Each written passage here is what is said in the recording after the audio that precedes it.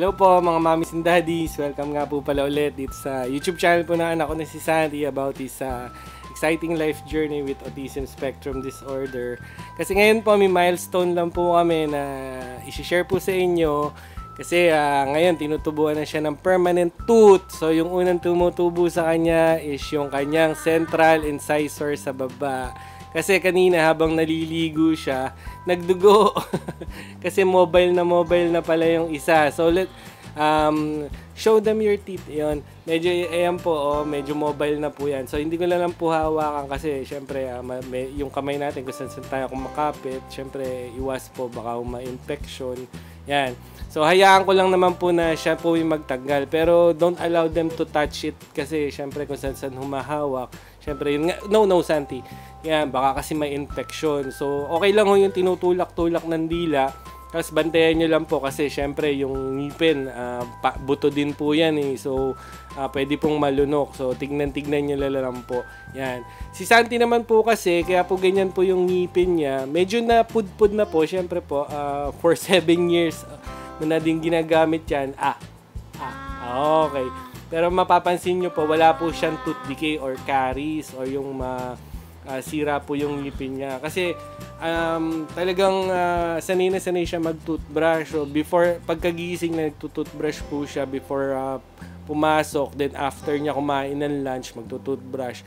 And then sa gabi, bago siya matulog, nagtutoothbrush po talaga siya. So, ang maganda po talaga pag po na-maintain, kasi once na nagkasira, bukod sa pagkasumakit, dahil nga may sira, mahirap yon dahil mahirap para sa bata, at uh, syempre, ang hirap din magpainom ng gamot. Yan, so para maiwasan. Tsaka pinaka-main talaga doon, pagka kasi nagkasira, doon talaga nag-stuck lalo yung pagkain pag may sira yung ngipin. So, mas mahirap toothbrushin, mas mas mahirap siyang i-maintain. Yan. So, ito pong ngipin niya dito, so dahil nga po lalabas na nga po yung central incisors niya sa baba, um, tignan nyo rin po yung sa likod ng ngipin kung kasing age nyo po ng anak nyo po si Santi. Kasi si Santi ngayon is 7 and a half na. Kasi uh, more or less uh, uh, makakasabay niyan yung ano yung ngipin na permanent molar niya o yung unang-unang bagang sa likod. So makikita nyo po yung mas malaki po dun sa decidus molars or yung milk teeth. At nasa likod po ng dalawang milk teeth na yun po yung uh, dalaw- dalawang bagang na na maliit So, yun po yung deciduous teeth or yung milk teeth. Then, sa, sa likod nun is yung, uh, yung permanent molar tutubo. So, apat din po yun uh, sa taas at sa baba. Tigdalawa po. Yan. Kada quadrant, merong isa. Yan. And then, yung sa pagtubo naman po ng ngipin, sunod-sunod naman po yan.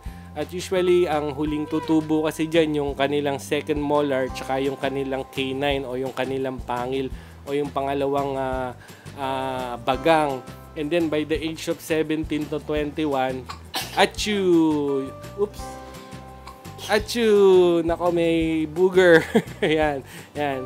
Tapos yung per uh, third uh, molar or yung wisdom tooth, usually naman talaga yan 17 to 21 years old. So malayo pa naman tayo doon.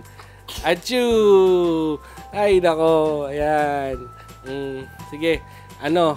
What will you say? Is it ouchy or not ouchy? Not ouchy. Yun. Hindi naman po masakit. Kasi nakadikit. Kung ganyan naman po kasi is yung mobile na nagiging uh, may movement na siya. Usually yan, yung root po dun sa ilalim is na na-resorb na. Oops, don't touch it. Santi, don't touch it. Yan, na-resorb na po yun or natunaw na kasi tinutulak po ng permanent uh, teeth po sa baba.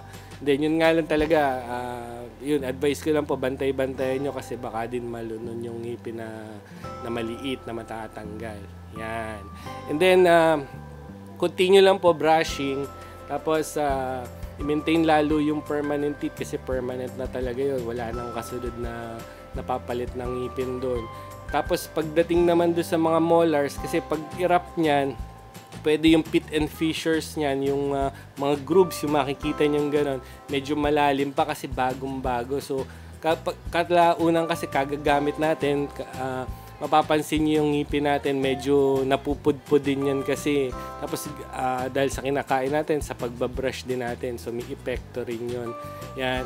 Ah, minsan, yung mga dentist, ipiniprescribe na lagyan ng pit and fissure sealant kung talagang sobrang lalim kasi ah, mi- hindi naman talaga maiiwasan na malalagyan ng ah, pagkain, lalo na yung rice, mahilig tayo sa rice.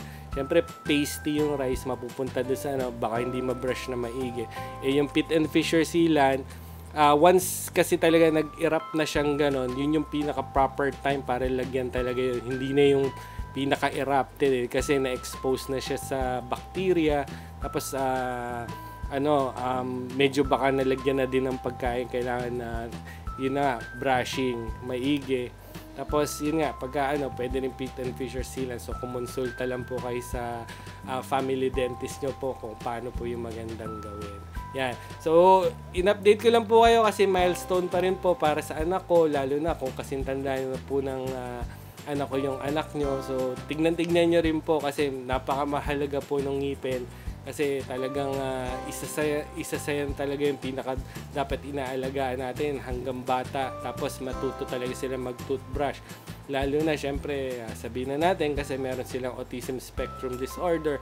Bukod sa pag ah, pag toilet training kailangan pati yung uh, pagtututbrushing sa maumpisahan pa talaga mula umpisa pa lang kailangan matuto na sila mag toothbrush so yan lang po yung ah, video po namin Um, anyayaan ko po kayo na mag-subscribe po sana sa channel po ng anak ko na si Santi. At meron na po kaming halos magwa 1,000 subscriber na po kami. So sana ma-reach na po namin yung 1,000 subscribers. Yan. And then thank you po ulit sa panonood sa mga nag-subscribe ko at mga nanonood po. Thank you po ng marami sa inyong lahat yan. And uh, yung nga palang mat namin nagpa-practice pa po kami tapos pakita ko po sa inyo kung paano ko po tinuturuan si Santing magmat. Tapos uh, kinausap ko rin kasi yung mga therapist niya tsaka yung teacher niya tapos tinuruan po nila ako para mas madali ko daw pong maituro yung mathematics. So addition lang muna po kami. And then um, may pinapractice kami so magkakaroon kami ng recital po sa inyo ni Santi So, um, inintroduce ko din kasi siya sa musical instrument. So, pakita ko po sa inyo. Yan. So, thank you po ulit sa panonood. Stay safe pa rin po sa panahon natin ngayon. At uh, mag-iingat pa rin po tayo sa paglabas-labas po natin. So, maghugas po tayo ng kamay. Tapos mag-face mask pa rin po tayo. Thank you po.